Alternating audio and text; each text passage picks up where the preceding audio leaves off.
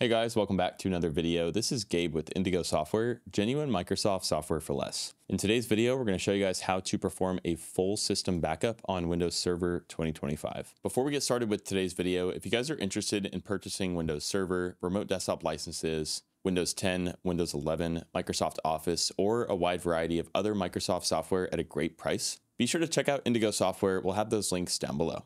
So without further ado, let's jump in.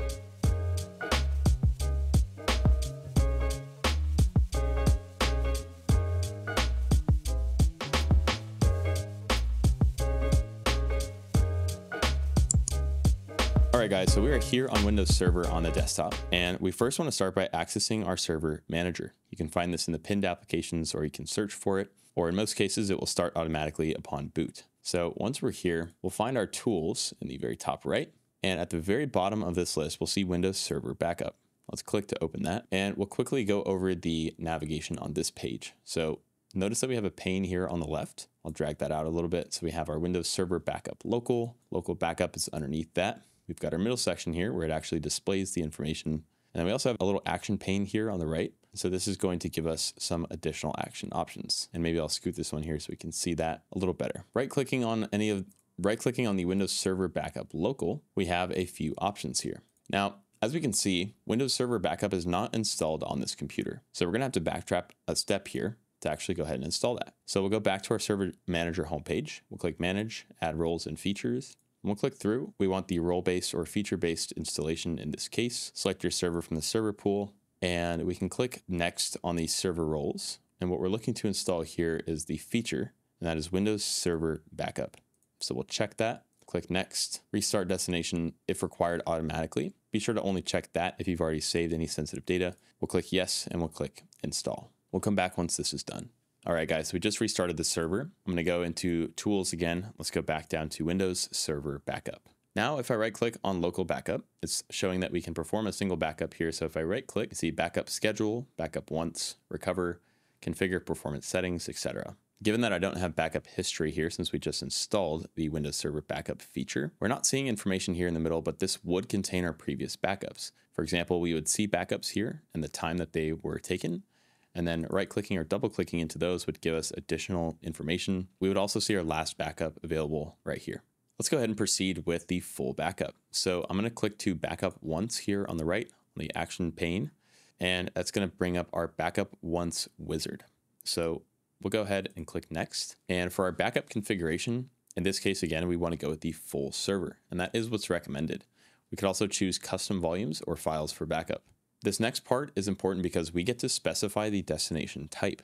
For example, we can save it to a local drive, or if we want a remote backup, which would be a good practice in a lot of scenarios, we have that option here as well. All right guys, so for the location here, I have a mapped network drive that I set up in a previous tutorial, and I'm gonna select that as where I want to save this backup to. Now this inherit option here has to do with permissions, and as it's telling us, this option makes the backup accessible to everybody who has access to the specified remote shared folder. In that case, this is what I want to do, so I'll press next. Okay, so I was actually copying the share drive path incorrectly. To quickly run through that, I opened my command prompt and I ran the command net space use. This is going to show us the mapping between drive letters and network paths. So by copying this path here, I have the correct share path for my share folder. So with the inherit option selected, as we discussed earlier, I'll press next. And then here we have confirmation. Let's go ahead and hit back up and we'll come back once this is done. All right, at this point, I'll go ahead and click close. So now in, under our local backup pane here in the middle, we can see the last backup. We can see that it was also successful. So I can double click into this. That's gonna show me more information such as the data size, how much data was transferred, start and end time, etc. And then it's also gonna show us again that backup location.